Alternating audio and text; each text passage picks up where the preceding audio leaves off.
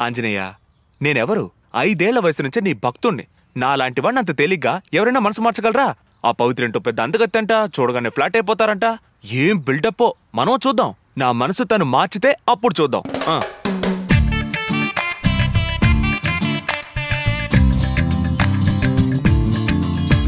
అన్నా. ఒకటి ఇవ్వన్నా? అలాగే.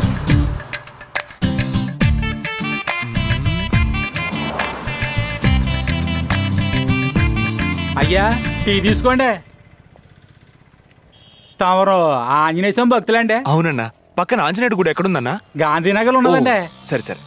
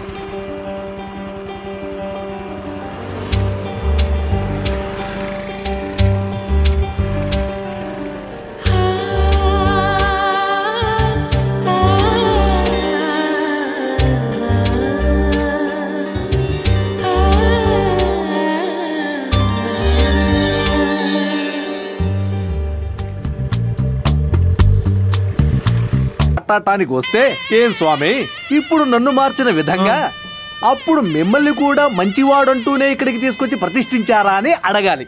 అందుకే ఇక్కడ కూర్చున్నాను. అందుకని హనుమంతుడు వేషం వేశానని చెప్పట్లేదు. అనుభవం ఉన్నవాడిని కనుక చెప్తున్నా